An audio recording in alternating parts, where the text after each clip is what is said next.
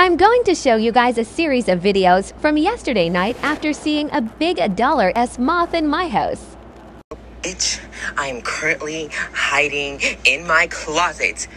I don't know if it's a butterfly, if it's a moth. It's big as fuck though, and it's out there. And I'm just trying to sweep. Oh, I'm just trying to sweep and do like grown people shit, adulting, and this shit just comes out of nowhere and it's flying around my house.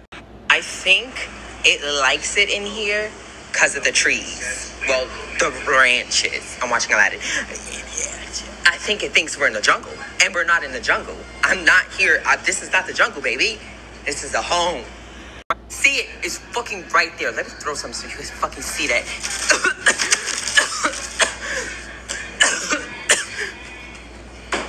you see? You see? I'm looking for the fucking bug for mad long because I think it's in the air. It's sitting right there on my makeup desk. Do you see that thing? And when it starts fucking flying, it's fucking huge. What the fuck is that shit? I do. I am very much terrified at the moment. Um, do I throw something at it? oh, fuck. What do I?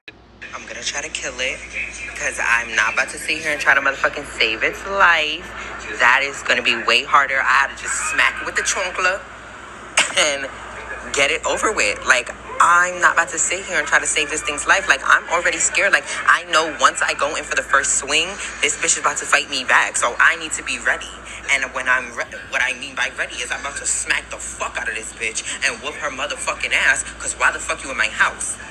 Now let's get it. Let's go. I'm really scared. Yo, it's so big. I'm scared. It's right there. oh, Jesus, Lord, Mary, Saint, Louisiana. Everybody have me in my in your spirits right now. I'm not playing with y'all. I'm gonna just do it.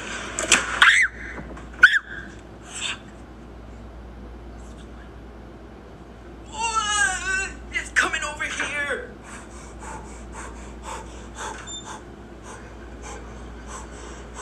After trying to hit it, I lost it and still can't find it, so it's just chillin' in my house. PLZZ help.